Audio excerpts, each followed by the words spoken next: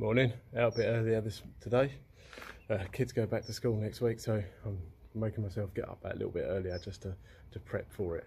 It did mean that it was dark when I first came out, so I've had to I've had to put the, the lamp back on in the garage, which is the first time in a couple of weeks, so should just mean in a few more weeks' time, then uh, it won't be a problem. Well, till the clocks change, and then be plunged back into darkness and cold again.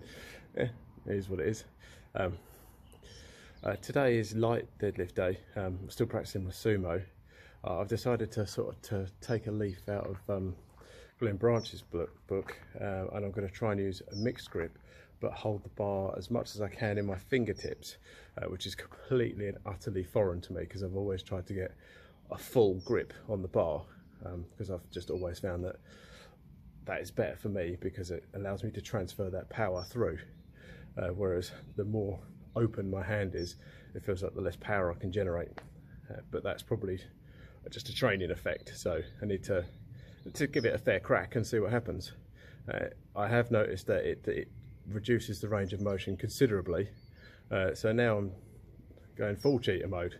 Uh, with, with sumo and now this adjusted grip to um, take full advantage of my leverages. so, so, let's see how it turns out. Uh, I'm glad this is light day because I'm not sure I can really hold on to any significant weight at the moment. Um, I think what have I got on there? 135. So yeah, so that is light day.